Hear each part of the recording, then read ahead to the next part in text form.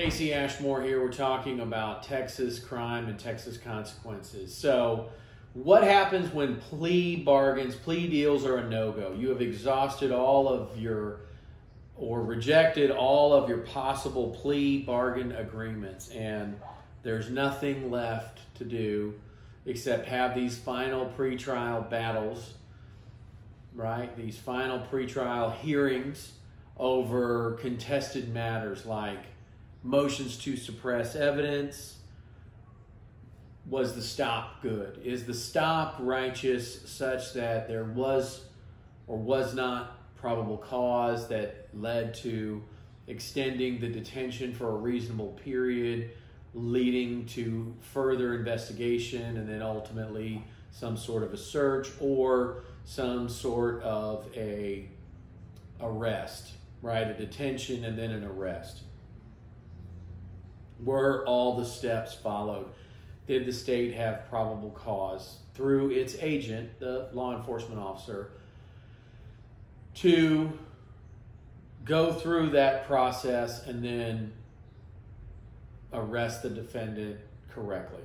And those battles are had usually at the end of plea negotiations. So, you know, this process is designed to actually be pretty quick because we do have a guaranteed right to a speedy trial and you know speedy trial can be a lot of things in the state of Texas and it and and it's usually anything but speedy. But time is rarely your friend in this situation. Time is rarely your because you do need a moment to, to to get into the facts. You do need a moment to start thinking about defensive theories. And while extended delays things caused by the covid pandemic those those delays really extend out the the trial process but the fact of the matter is that that allows for the opportunity to dig into these facts to to, to sharpen the saw to prepare for the battle to come with the state prosecutor's office over these matters that that need to be heard before a judge and panels of jury like suppression of evidence issues like Judge, I need to know what expert witnesses they intend to call at trial. Judge, I need to know if there are informants that they're going to call at trial. Judge, I need to know what what evidence of my other wrongdoings and bad acts is going to be presented at trial. These are the things that you must you must ask and get rulings on. It's critical that you must ask for them and get rulings on them such that you have protected your client's rights.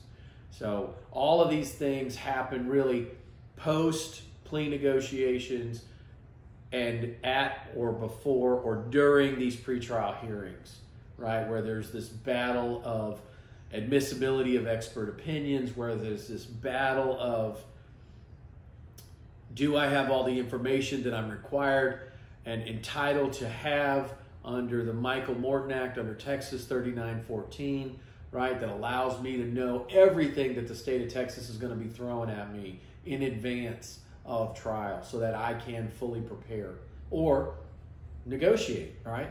So that's that's what happens usually at the conclusion of the plea negotiation process is these final pretrial steps. And then the only step after that is the trial process. And that one is so significant. We're to we're to make that its own segment. Thank you so much for watching. Please like, subscribe, and share. Questions or comments are welcome on any social media video platform you see this on, and more on the jury trial process as it pertains to Texas crime and consequences in the studio coming up next.